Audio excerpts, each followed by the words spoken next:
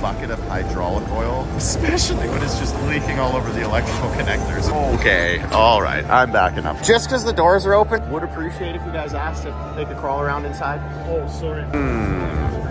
Don't worry too much about that. It is April 3rd, 2024, which means that it is time to bring Chainsmoker out for the first time of the year. And that is because it is what is probably Calgary's most well-known car show, as it is a traveling car show, the World of Wheels. However, the thing about being in Calgary is that we get to deal with this where I'd love to be driving Chainsmoker right now, and that was the plan. We got hit this morning with a snowfall warning, and apparently there is 15 to 30 centimeters on the way. So that's just great.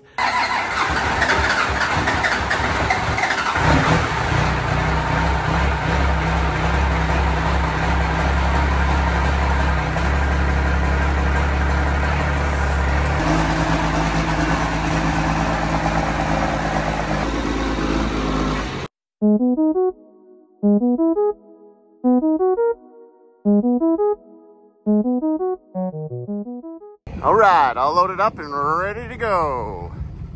Kind of an interesting time of year to have a car show, but it's always a car show out here. I've made it inside and we've got some beautiful rides in here. Some really nice trucks and cars. Some guys that are really doing it right. And then we've got me with my literally broken wooden ramps. Don't worry about that. That, uh, that'll be fine. Just here manhandling these by myself, but you know, gets her done. More of a blue collar car collector than a white collar car collector like most of these guys in here are.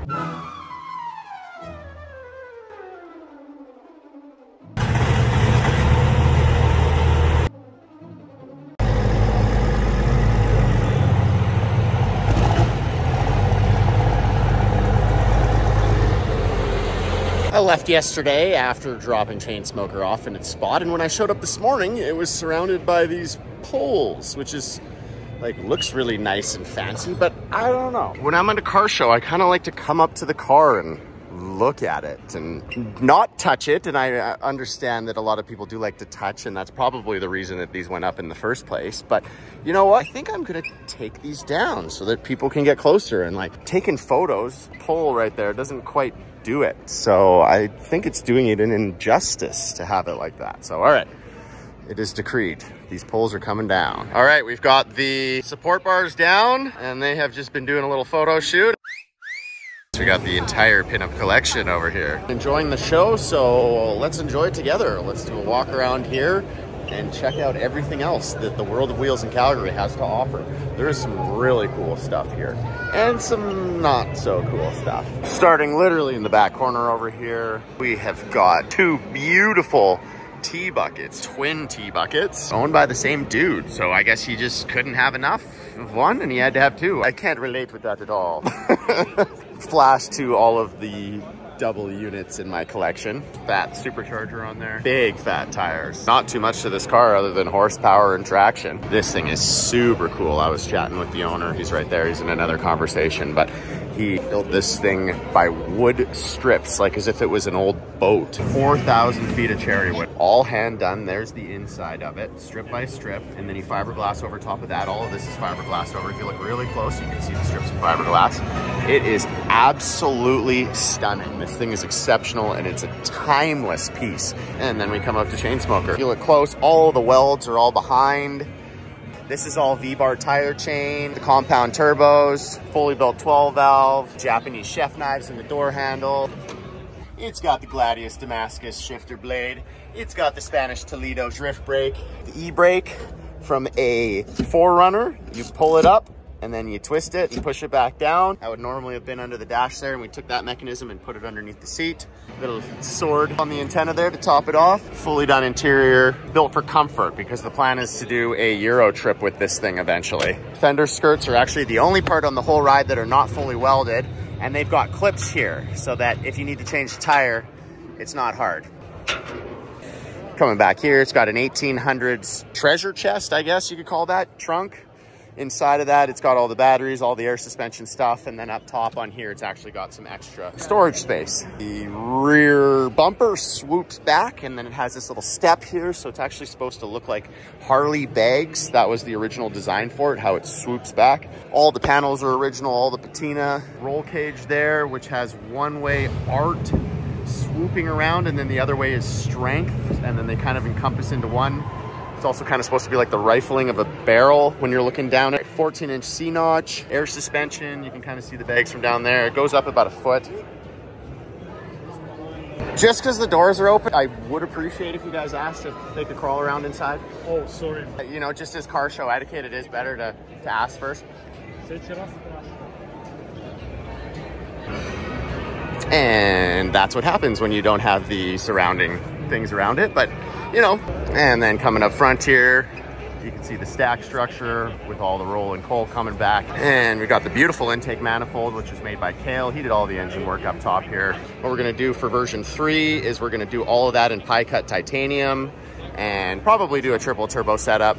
Two 60 liter fuel tanks in the back. And the question that everybody asks, how much does it weigh? Well, it is actually 6,300 pounds. Much lighter than what you'd expect. It weighs less than a Cybertruck, less than a new 2500 Silverado gas truck. Because there's not a whole lot to it. It's just a sheet metal body, a Dana 80 rear end, and a bunch of chains, and a 12 valve Cummins, and that's about where all the weight comes from. Got a pretty sweet gasser here, supercharged, very old school. Definitely appreciate this for what it is. Isn't that an interesting front end? Looks like some little French thing, but Detroit Industrial Vehicle Company. Has anybody ever even heard of that? I sure haven't. Cool mini truck here. She low, she real low. It's got a C-notch there. He's showing it all off back here. That's interesting. That looks like a structural air tank, I guess. That's a new one. Pretty cool. You can see his four link. There's his bags. Out of all these spots here, I think this place, it gets me. this is what my property looks like, except without as cool of cars. Gotta love Alberta. Oh yeah. Oh yeah. yeah, it's pretty easy to see how the Canadian car community feels about that guy. What's so popular? Why, the Hot Wheels booth, of course. Look at this, it's a zoo in there. Who doesn't love Hot Wheels? It's the attainable car when so many of these are unfortunately unattainable.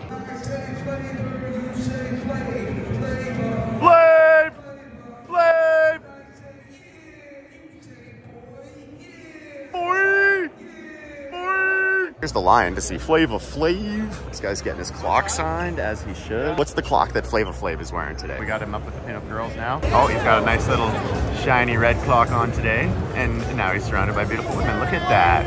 Flavor Flav! awesome. A couple beautiful Impalas here. There's not a whole lot of four door.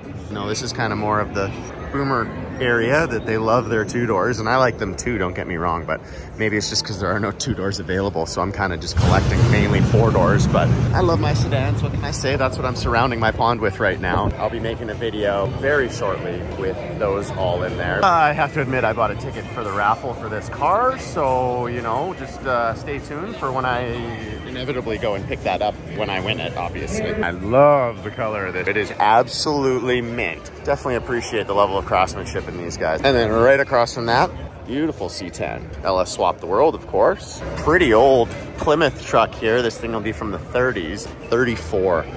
Wow, gotta love it. This is almost exactly like my Jeep Commander, Jeepster Commando. Holy, gotta stop screwing that up. Really cool. This is obviously all frame off. It's just the body that's original. And he actually built these fenders for it too. And he built over fenders that attached to the body so he would have just cut out all the rest. Oh yeah, you can see the cut lines in there. It's a great way to do it. I really like that idea. And then he built the mountain view into there. And I know you can tell which model this was. I think that this would have been a convertible just like mine because of this little window here. So the convertible would have come up over that and then this would have come up and this would have come up. And then we got this thing. I remember this thing when I was a kid. I don't think I ever rode it then and I'm not gonna ride it now.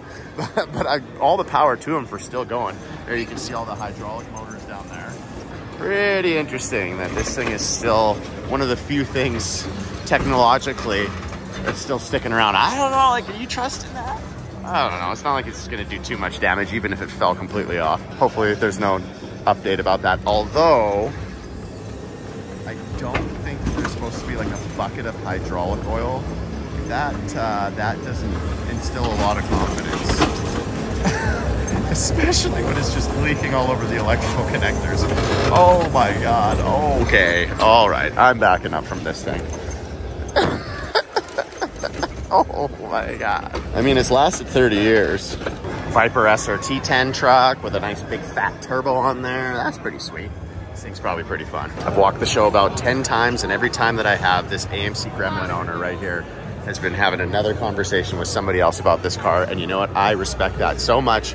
Just hanging out, ready to answer absolutely any questions about it. And it is a beautiful ride, so it is well justified. Quick question for you. Yeah, Did you get these stickers reproduced? Yeah, you can, yeah.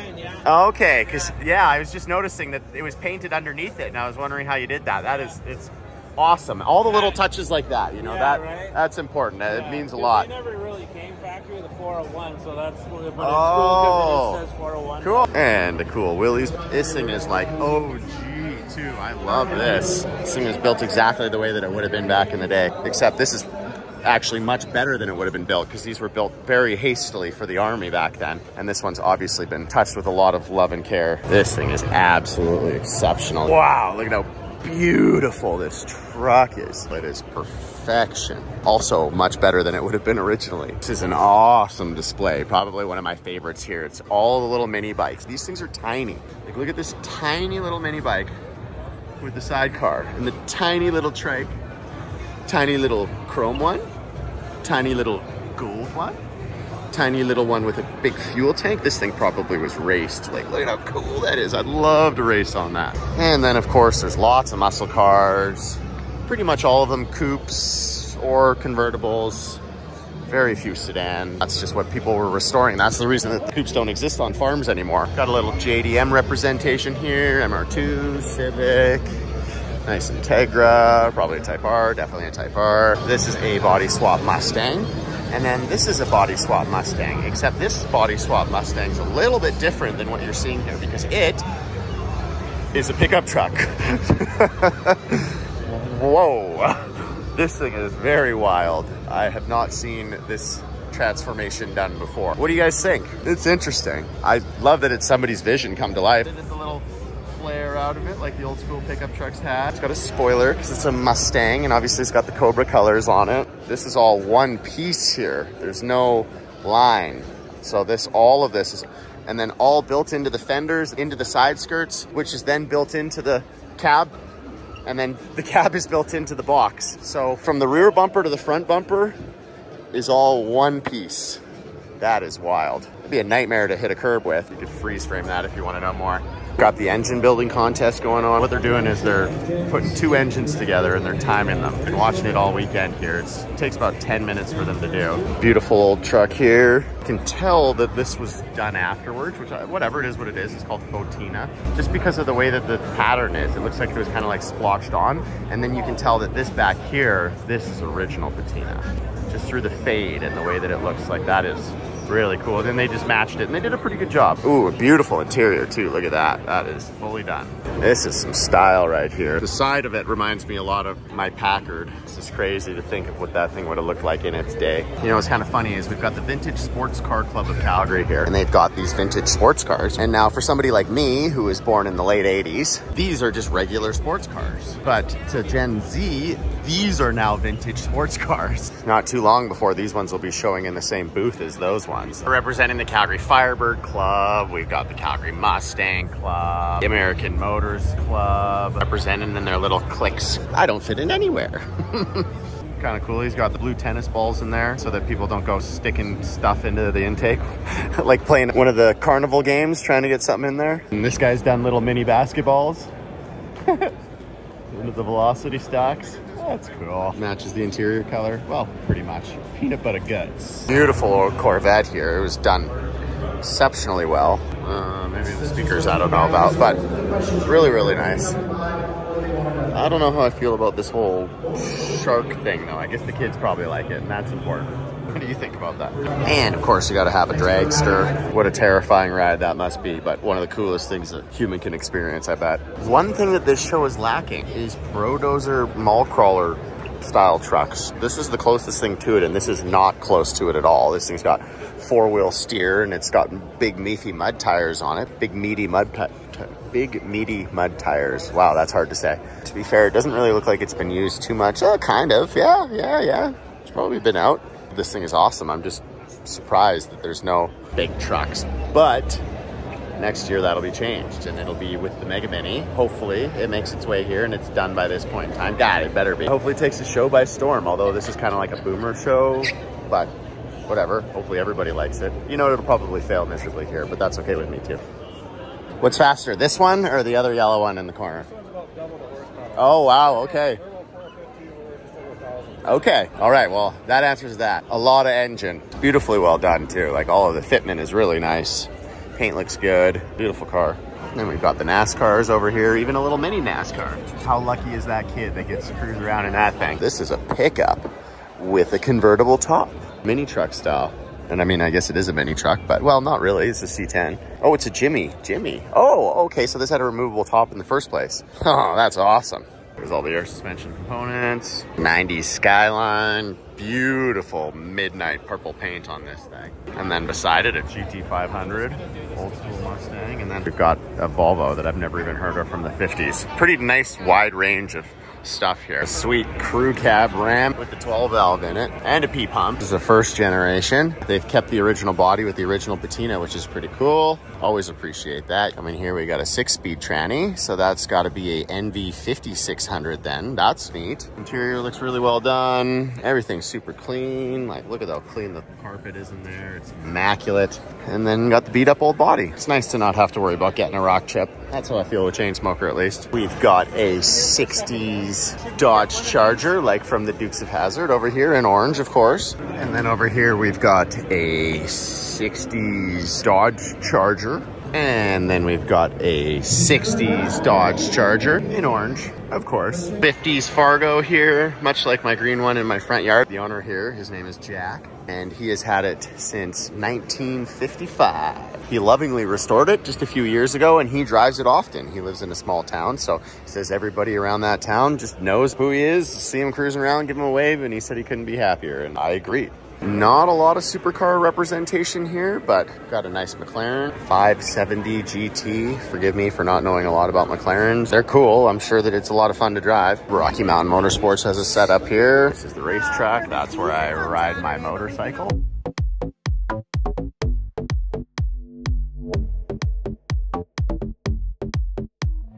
Gas Monkey Camaro. Yes, it is that Camaro. Check that out. How fun would that be to drive? Looks like it puts down a lot of power. I don't see any turn signals, so I'm not sure if this is street legal. I'm gonna go with no. This thing is sweet. This is like race prep ready. He's got his little trailer there. He throws all his gear in it and heads to the racetrack. Drives it on the street, presumably. Oh, does it have headlights? Yeah, it's all down there. I see turn signals too.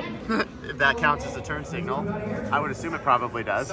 Massive supercharger on there. This thing is cool. I bet that it tears. And then we've got an Aston Martin Vantage, Mansory edition. Beautiful car. Henrik Fisker is the one that designed it. And it was so beautiful that I had to add one to my collection. So, you know, I'm once again probably a little biased. This little Miata here is pretty cool. It's got a Ford V8 engine in it. That's wild, especially the fact that it has a 215 rear tire. That thing is tiny. so this thing would just drift like nobody's business. And here we have the other yellow RX-7. The Viper engine, that's pretty dope. They're both beautiful vehicles.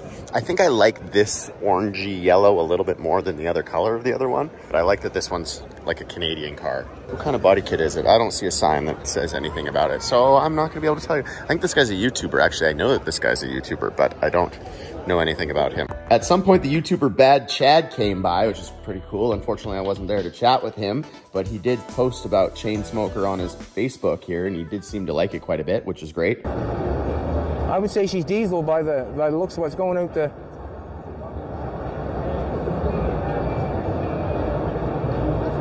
I cannot see where the chain is welded together.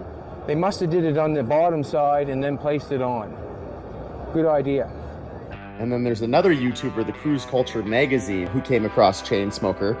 And unfortunately, they caught me a little bit lacking here. I was asleep and uh, he didn't want to wake me up, which was nice of him. But this is the shot that comes out of that. And then from all the way over there, we've now made our way to the exact opposite corner of the show. And that's where they have Kevin set up here with his badass rat rod. Beautiful to see every single time and I still see something new and then I forget what I've seen and then I get to see it again and enjoy it again. He's got quite the crowd around him too, which is great. This thing is a boat too. It's like 30 feet long. and so is the wheelbase because the wheels are all the way up here. Technically, this is a mid-engine vehicle because the whole engine, not only just the center point, but the entire engine is behind the front wheels. It's all the vehicles. Now we've got awards, which would be nice if I won some sort of cash award, but I'm very highly doubting it because I'm not overly traditional, although my class for this year was traditional rod pickup. And then we're gonna roll out. And I did not bring my truck and trailer today. I took a cab down here and I am planning on driving home. So hopefully I make it home. I have driven Chainsmoker a fair amount, just not this year yet. So we'll see how that goes. I was just chatting with Kevin here, telling him the story about the three kids that were crawling around in my unit. Wouldn't you know it, he's had the exact same three kids crawling around in his truck. Obviously they didn't learn anything the first time around, but that's just crazy. Everybody else though was really good, super respectful, followed proper etiquette the entire time. Very impressed by that. So I'm not gonna let the few bad apples spoil it for the rest of them. I'll keep the barricades down still, but I guess it's best to watch it. And at least I'm not as worried about somebody scratching it as some of these really nice rides where it would actually cause damage. You know, every single scratch adds a story to my ride, but still not ideal. You know what I'm saying? I just did a full walk around of the show looking for imperfections in the rides. And you know what? I must say, there are very few.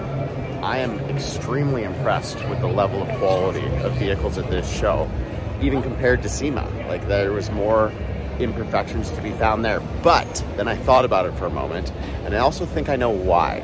It's because these guys show the same vehicle that they built 10 years ago at the show every single year, and they've had lots of time to perfect them and make them exactly the way that they want and the way that they should be, which is great, because that's how they should be shown.